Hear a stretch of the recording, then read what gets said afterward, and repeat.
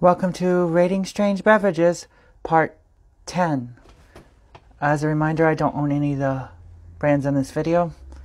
And today I am caving and I'm trying Pilk. I got my mason jar because I don't have anything else that's clear.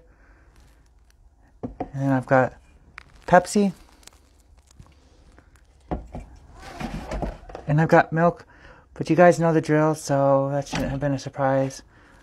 Um, I guess there's nothing left to do but try it. So, I read somewhere that 75% Pepsi 25 milk is the best, so I'm going to try that. If you guys have better suggestions, um, put it in the comments.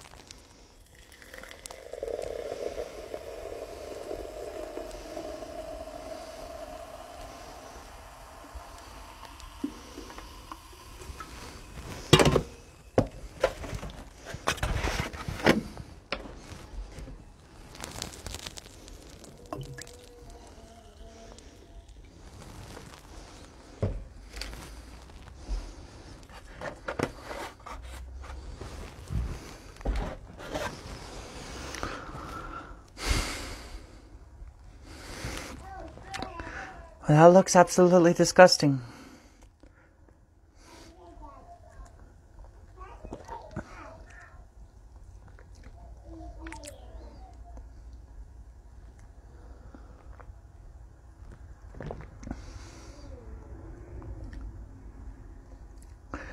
Internet might be on something. Um, definitely one of the better beverages I've done for this series.